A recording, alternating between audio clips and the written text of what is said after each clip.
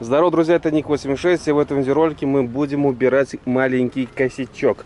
В общем, ребята, когда еще кузов холодный, и вы едете по небольшим кочкам, именно где кузов вот так вот колебается, вы ощущаете вот такой вот звук, вернее, слышите. Но мне кажется, не эта сама херня гремит, а там есть крепление, болт и шайба. Вот и слишком там большой зазор, и это нужно все исправить. Как это все исправляется? Чтобы снять это все, две лопаточки, вот эту снять, и нам нужно полторашечку. Так, чтобы это снять, нужно частично снять дверные уплотнители. Так, снимаем уплотнители. Чуть-чуть. Видим там пистоны два.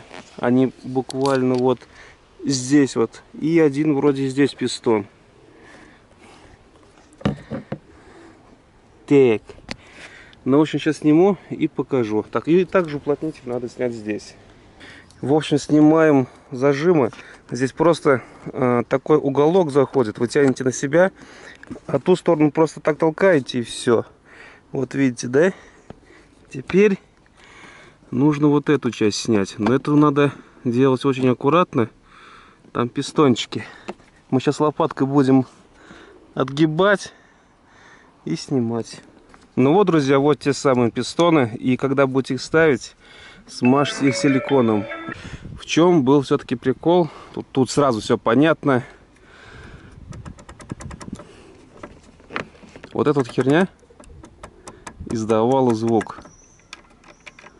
Так, это нет тут все нормально. Именно вот эта херня. И только здесь, с этой стороны, там нету, где водитель. И вот когда вы едете, вот такая херня происходит. И это очень хорошо слышно. Но, в общем, сделаем люфт минимальным. Еще плюс э, найдем шумку и наклеим сюда. А чтобы лучше было понятно, смотрите, вот шайба, видите, вот она бегает. Вот здесь вот. Вот вот сюда нужно что-то подкинуть. В общем, ребята, тут такая залупа. Сюда ключ на 17 слишком большой, на 15 слишком маленький. В общем, он тут на 16. У меня его нету. Ни головки, ничего. Но хер вы меня на Е. В общем, что там за щенок рет? В общем, этот, взял такую вот проставочку, сам сделал. Просто здесь сделал надрез Сейчас все вставлю. Главное в аккурат попасть в ту шайбу, которая отходит отсюда. В общем, ничего не получается. Я ту проставочку просто все разорвал и выкинул. Сейчас Санечек подъедет и мне головку завезет на 16. Оказывается, она у него есть.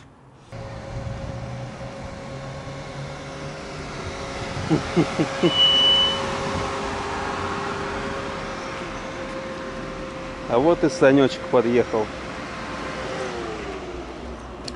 Здорово. Здорово. Я лучший автомобиль в мире делаю. Ну, который все петушат. А -а. Я да. думал, на 16 головки нету, думаю, а нифига себе. в ТикТоке всех петушу, кого на марке, все говорят, что у вас лучшие машины. А когда купил этот, китайцы сначала первый время все равно китаец сила. Здрасте. О, спасибо, сейчас я прям... Да это сейчас даже при тебе все сделаю. Так, ребята, еще сделал такую фигню. А, нашел такую шумку из ТПшечку, наклеил на эти ребра. И уже звуки стали, но не такие сильные. Вот хотя бы по железке уже не бьет. А так все, конечно, вот. Есть, есть звуки, но все же но. Так, сейчас отвернем. Так, ну 16 подходит, что ли? Да, кайф. Вот эта втулочка и гремит.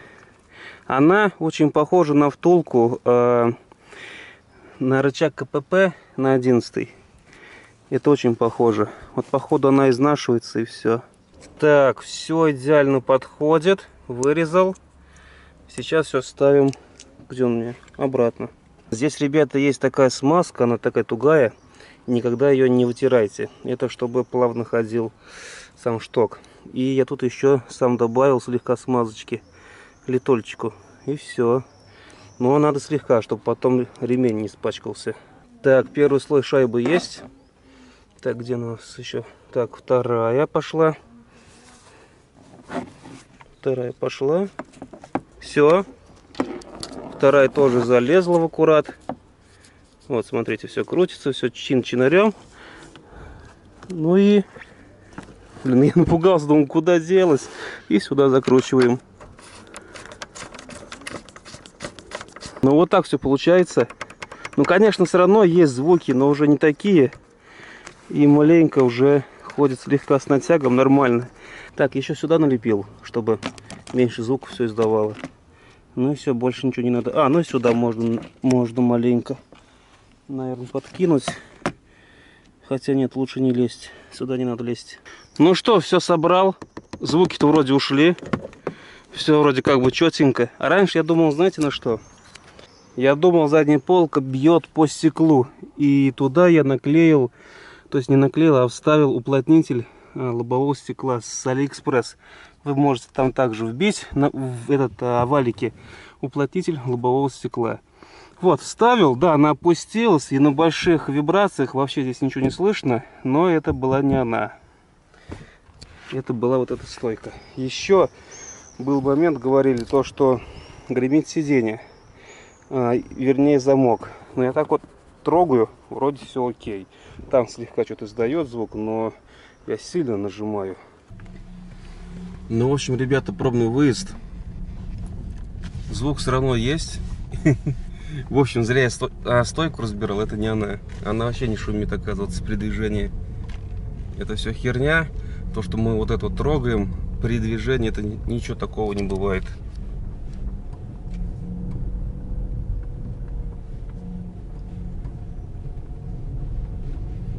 Ну, вы слышали, наверное. Это в натуре, походу, замки сидений. Надо их смотреть. Ну, в общем, ребята, по сути, это шумит вот этот замок. Получается, если берем за э, подголовник,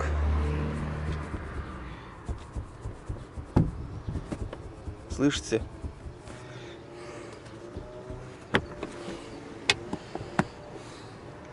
Я что хочу сделать, чтобы он так не гулял, наклеить сюда какие-нибудь упоры. Когда еще много было изоленты, вроде как все было нормально. И, кстати, есть такая тема, когда закусывает именно э, обшивку, тоже начинает бить. Вот, ребята, снял сиденье, и вот смотрите, слушайте, вернее.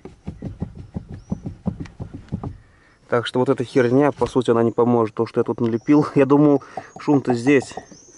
Ни хера. В общем, попробую стянуть. Здесь все. Здесь, здесь есть крепление. Надо подтянуть. Да и что-нибудь все равно придумать, налепить такое интересное, чтобы вот это все не ходило. Да вообще даже может звук и не этот. В общем, ребята, нехер херней страдать. Это звук, он минимален и он настолько минимален, то, что мне мозги, можно сказать, не делает. Мне, мне просто было интересно, где эта херня. В общем, здесь все прикручено на совесть, все хорошо. И звук это не этот.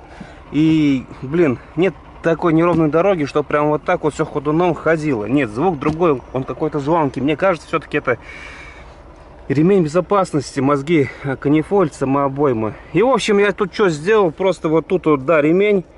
И чтобы он так больно-то не звенел, я вот тут все залепил нахер к херам. И в рот я шатал всю вот эту херню. Все. Поставил, закрыл, все нормально. И заодно полка там будет, не будет бить а, а металл. Гадина, что, звук что пропал? Ну, почти, да. В общем, надо, чтобы все было плотничком везде, и тогда все будет нормально, в натяг. Что прям сиденье в натяг садилось. Даже можно что-то вот тут вот, наверное, такой вот наклеить, чтобы просто все было в натяг. Вот, сейчас там также наклею, еще раз проедусь, скажу, что как. И все, больше вот этой херней я маяться не буду. И а, жара не могу. Суть видео-то в чем? А, некоторые все выдумывают насчет Весты, начинают в стойку лезть, начинают еще куда-то лезть. И врут, говорят, все, звук ушел. А на самом деле нет. Он звук где-то присутствует, это точно не в стойке, не надо ее разбирать никому. даже с ее а, люфтами, никаких просто звуков нету. Тишина. Так что, блин, чтобы вот так вот, вот помните, как я стойку брал, вот именно эту обойму, то есть не обойму, а направляющую ремня, я прям сильно бил. Чтобы вот такая амплитуда была, это надо, чтобы просто машина подлетела, не знаю куда, в, стратосферу. А при даже вот такой дороге, если да- даже если вы поедете 60, никаких звуков просто не будет. Так что, в принципе, блогеров слушать не нужно. Типа, тут гремит, там гремит. На самом деле, ребята, это хайп и бабло. Все, вот и все. Где-то, да, там что-то шумит, но мне кажется, это обойма. Потому что салон, по-честному, собранный а, на пятерку. Не на твердую пятерку, но на пятерку. Все нормально. Были моменты, да, под- ну ладно, 5 с минусом. Были моменты какие-то, я там подделал, но в целом все нормально. Не будет никогда ничего идеального. Это прям, ну это тысячу процентов. Я садился и в, в эти, и в Mitsubishi, и в, э, в Поло, и в разные тачки, и где-то какие-то сверчки все равно присутствовали, что-то где-то било. Это будет всегда. И водитель это всегда слышит. Вот если ко мне садятся пассажиры, они это вообще не ощущают, они это просто не слышат. Вот только вот такой машины все будет нормально.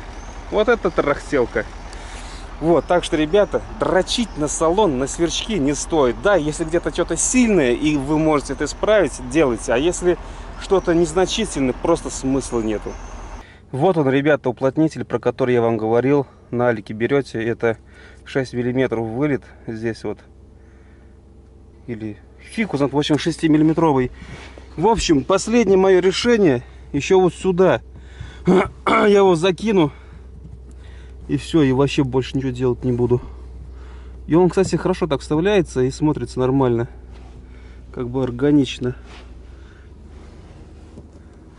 Все. Чтобы вообще полка была прижатая по максимуму. Стоп-сигнал он яркий. Там, если даже слегка где-то что-то там перекроет. Вот. Там слишком большая площадь диодов, так что вообще никак не повлияет. Все. Смотрите, как все красиво получается. И полка вообще не бьется. А раньше она все-таки билась. Вот, сейчас вообще просто все в ажуре. И все, и не хрен трогать машину. Все, насчет скрипов больше вообще видосов снимать не буду. Нет смысла. Так, ну и все, ребята. Все равно прокачусь и скажу, что и как. Сегодня отдаю машину, э, 11 в общем, Джессику, на сварку на левую сторону. Потом придет химия интересная. И мы обработаем машину эту два раза. Сначала дедовским методом, просто дедовским, а потом типа современным. Будем все в порог заливать, чтобы просто там вот такой, сука, был слой гудрона, чтобы вообще потом не ржавело.